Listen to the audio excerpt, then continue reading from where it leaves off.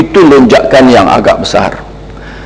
Ya dan uh, yang dimaksudkan besar itu bukan hanya kepada angkanya tetapi yang lebih penting daripada itu kalau kita memahami sedikit tentang ekonomi ia membawa maksud bahawa kita akan memobilisasikan sumber-sumber resources negara ini untuk sampai ke situ dengan maksud kata puratanya pertumbuhan sebanyak 6.5% setahun. Compounded 80% dalam 5 tahun dalam RMK uh, ke-10 ini. Apa yang dimaksudkan di situ adalah akan berlaku seperti mana yang berlaku terdahulu daripada ini. Hari ini kita tidak dengar dan laporan ini pun tidak menyebut sedikit pun tentang apa yang dikatakan sebagai keefisienan pertumbuhan. RMK 8 saya lihat ada disentuh di situ.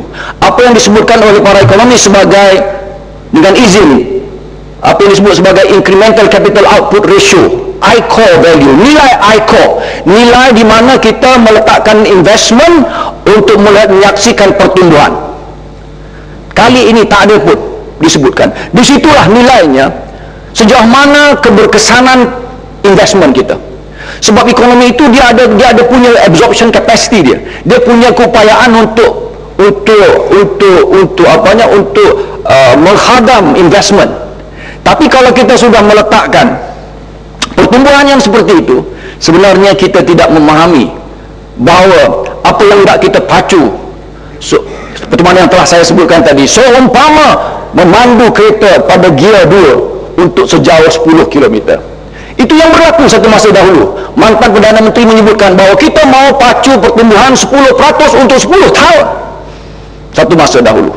Kemudian ditakdirkan Allah berlaku the Asian debacle financial crisis 1997 lalu hancur segala apa jua cita-cita kita untuk sampai ke 2020 Datuk yang dipetua inilah yang dimaksudkan supaya kita kembali sedar bahawa apa maksud kita mendewakan pertumbuhan ini apa maksud kita bila kita meletakkan persoalan growth itu sebagai satu dasar satu matlamat dalam macroeconomics? Ia bukan hanya sekadar growth dalam angka itu tetapi ia mesti membawa kepada apa yang saya sebutkan lebih awal tadi kemakmuran itu. Kemakmuran yang akhirnya menyinggung persoalan quality of life. Dan tak kala kita menyaksikan dan kita selidik dan kita telik dan kita renungi kedudukan kita hari ini. Kita memang tidak akan bankrupt seperti Greece. Betul. Saya rasa tidak ada parallelnya di situ. Tetapi kita juga kita pada waktu yang sama mungkin akan menjadi seperti negara Filipina. Negara Filipina, Filipina yang hari ini sedikit waktu dahulu ya presidennya adalah seorang profesor in economics. Eh, Gloria Macapagal eh, Arroyo itu adalah seorang profesor in economics. Tetapi negaranya setelah rankingnya adalah hanya di belakang Jepun in post war Asia hari ini di mana di mana Filipina? Kita sudah menjadi itu. Kita tidak tak perlu kita ada takut ditakut-takutkan dimomokkan menjadi Greece. Mungkin jauh parallel itu. Perbandingan itu mungkin tidak sama. Tetapi kita sedang mengalami dan kita sedang mengikuti jejak langkah menjadi sebuah negara seperti Filipina. Ini yang dimaksudkan Datuk yang dipetua. Tatkala kita tidak meletakkan persoalan kesejahteraan dan kemakmuran rakyat itu. Supaya negara dan, dan rakyat di sini rakyat di seluruh negara ini tanpa mengira kaum bangsa dan agama mengecapi khazanah kekayaan negara ini. Kalau kita lihat kepada Gini koefisien intra dan inter etnik itu satu perkara yang saya mungkin tidak dapat sebutkan dengan lebih mendetailkan kekarangan waktu di sini. Apa yang nak saya sebutkan Datuk Endi Betul adalah dalam persoalan meletakkan setelah saya baca ini saya tidak nampak jelas bagaimana persoalan priority itu.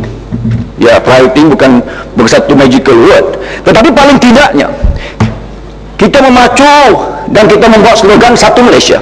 Saya sudah boleh membayangkan dalam 2020 nanti bukan bukannya satu Malaysia. Jelasnya akan wujud dua Malaysia. Malaysia yang negeri-negeri maju di pantai barat semenanjung dan Malaysia negeri-negeri mundur atau kurang maju di pantai timur semenanjung Sabah dan Sarawak.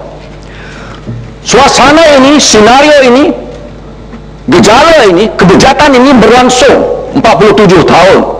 Terus-terusan. Dan hari ini saya paham apa itu kemiskinan. Setelah setelah saya setelah saya pergi dan menziarahi kawan-kawan di Sibu sedikit waktu lalu dan juga tatkala saya berada di Keningau dan melihat bandar-bandar dan tempat-tempat yang lain.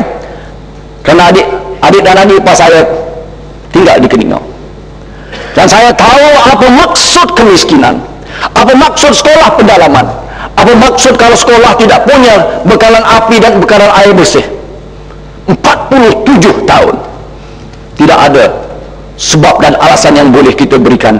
Kecuali di sana tidak ada komitmen yang benar-benar minta maaf lah MP-MP daripada Sabah dan juga Sarawak. Hari ini saya bercakap atas dasar seorang MP lawmaker legislator untuk seluruh rakyat Malaysia. Yang mana kita saya simpulkan di sana jelasnya tidak memahami kita apa yang dimaksudkan dengan dalam bahasa dengan izin bahasa Arabnya bahasa fiqh al-awlawiyat ataupun meletakkan prioritization keutamaan itu kena dan betul pada tempatnya. Ya dengan kata lain meletakkan semua penting. Nak dapatkan parlimen baru penting. Nak dapatkan istana juga penting. Nak membuat kabel dasar laut berbilion ringgit itu juga penting. Berbelanja besar dalam pengangkutan awam. Sehingga hari ini masih merengkok, masih tidak lagi, masih kucar kacir lagi, masih tidak ada interconnectivity antara LRT, Rapid KL dan sebagainya. Sehingga kan prasarana terpaksa mengeluarkan 8 bonds berjumlah 8.74 bilion yang dijamin oleh kerajaan pusat. Mengapa begini sekali kita mengurus kekayaan dan khazanah negara ini? Karena kita tidak punya keutamaan karena kita tidak punya satu paradigma pemikiran meletakkan keutamaan itu untuk mesejahterakan rakyat. Dalam pada waktu yang sama ketirisan dan kebocoran cukup syarat dalam pengurusan khazanah kekayaan negara ini. Tidak ada pemerintahan tidak ada kerajaan yang lain dalam 50 tahun yang lalu kecuali kerajaan Perikatan dan UMNO Barisan Nasional. Siapa nak kita salahkan tepuk dada dan tanya kesedaran dan keimanan masing-masing. Datuk yang dipetua lalu dengan itu saya membawa keinsafan ini supaya kita tidak lagi bercakap dan tidak lagi membuat peruntukan-peruntukan besar. Kecuali kalau benar-benar kita telah pastikan bahawa kita punya komitmen untuk melaksanakan perkara ini. Contohnya contohnya dalam dalam dalam koridor-koridor yang kita bentangkan saya mengambil hanya daripada fakta-fakta yang diberikan oleh kerajaan. Saya memang memerhatikan dalam muka surat lampiran 420 muka surat itu. Saya memerhatikan peruntukan-peruntukan yang dibuat dalam semua menangani masalah ketidaksam, ketidaksamaan sosioekonomi yang berterusan secara membina dan produktif. Hanya Iskandar Malaysia yang punya peruntukan yang saya perhatikan dalam hal ini hanya Iskandar Malaysia yang punya peruntukan yang tidak tidak kilap saya kurang lebih 39 bilion.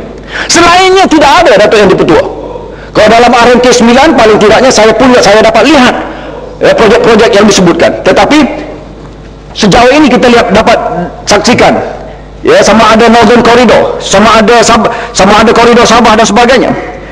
Dan saya memerhatikan pula pencapaian-pencapaiannya Datuk ini petua pernah dibuat pengisytiharannya 1 trilion. Sehingga hari ini daripada 140 bilion yang disasarkan dan yang dikomitkan dan yang dan committed untuk uh, berlaburan adalah 249 45 bilion yang hanya sebenarnya adalah hanya 40 bilion. Selain daripada itu kita tidak tahu mana akan datang dana itu.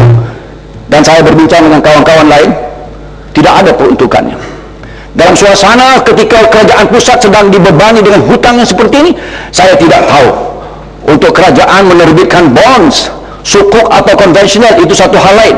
Tetapi saya tidak nampak. Saya sebutkan tadi dalam hal ini kita dapat lihat awal tadi RMK 7, 8 dan 9 semuanya mendapat penambahan-penambahan. Tetapi RMK 10 ini apakah kerajaan mampu membuat penambahan-penambahan walaupun 10% sebab yang RMK 7 53% RMK 8 55% RMK 9 mendapat suntikan fiskal sebanyak 67 bilion. Datuk yang dipertua justru itu saya mengingatkan kerajaan supaya benar-benar cermat.